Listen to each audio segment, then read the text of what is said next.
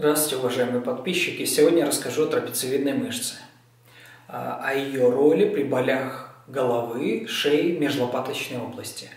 Для того, чтобы это было как можно нагляднее и понятнее, начнем с того, что ориентирами и местами крепления трапециевидной мышцы а, вверху является наружный затылочный бугор – сбоку это ось лопатки и снизу это осистый отросток 12 грудного позвонка. А по своей форме мышца напоминает треугольник, основание которого обращено к позвоночнику. А левая и правая мышца вместе напоминают форму трапеции. По своей функциональной способности трапециевидную мышцу можно разделить на три зоны – на три пучка – верхний, средний и нижний. А функциями трапециевидной мышцы являются а, следующие движения. А, благодаря сокращению мы поднимаем плечи, поднимаем руку вверх, мы сводим лопатки, приводим их к позвоночнику и опускаем плечевой пояс вниз.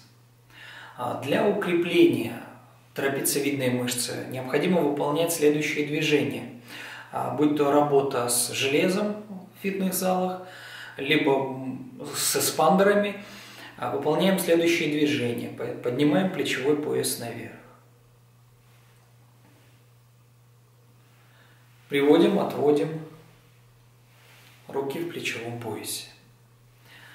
Длительное нахождение за э, мониторами компьютеров – приводит к тому, что мышцы трапециевидные находятся а, в длительном тонусе, в напряжении. А, сдавливаются нервные волокна, а, как следствие головная боль.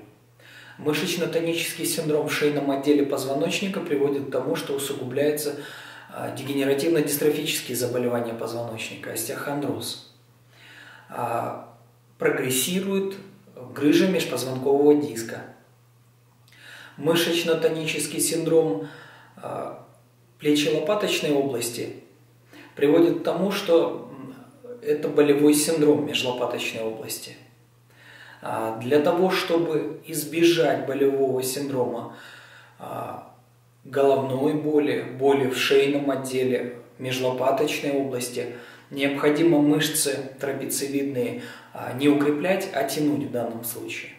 Сегодня я покажу несколько очень простых, но эффективных упражнений, направленных на растяжение трапециевидной мышцы.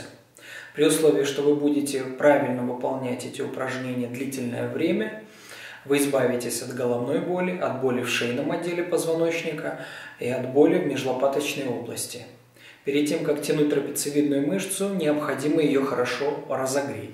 Что для этого необходимо делать? Круговые движения назад плечами, круговые движения вперед, поднимать, опускать плечи, можно это делать поочередно. Это будет хорошей а, разминкой перед тем, как начинать выполнять наши упражнения. Когда мышцы уже хорошо разогреты, мы тянем голову в одну сторону, отводим ее и продолжаем тянуть. То же самое выполняем в другую сторону. Тянем, отводим, продолжаем тянуть. При условии, что вы правильно будете выполнять эти манипуляции, вы будете ощущать, как тянется трапециевидная мышца. А затем мы фиксируем плечо, отводим голову в сторону и продолжаем тянуть. То же самое выполняем с другой стороны. Покажу еще одно очень простое и в то же время очень эффективное упражнение. Отводим плечо назад, поднимаем его наверх, голову в сторону и напрягаем.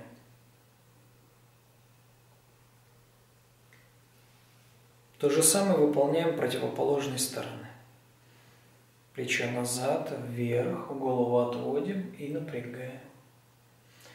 Чувствуем, как напрягается и тянется трапециевидная мышца. А, также мы можем тянуть трапециевидную мышцу путем разведения лопаток.